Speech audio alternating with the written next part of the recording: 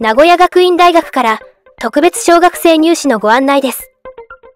小学生合格者は入学金と4年間の学費が全額免除されます。小学生合格に加え、一般合格も同時に発表。本学会場に加え、岐阜、浜松、金沢、松本でも受験可能。出願は11月27日水曜日まで。名古屋学院大学特別小学生入試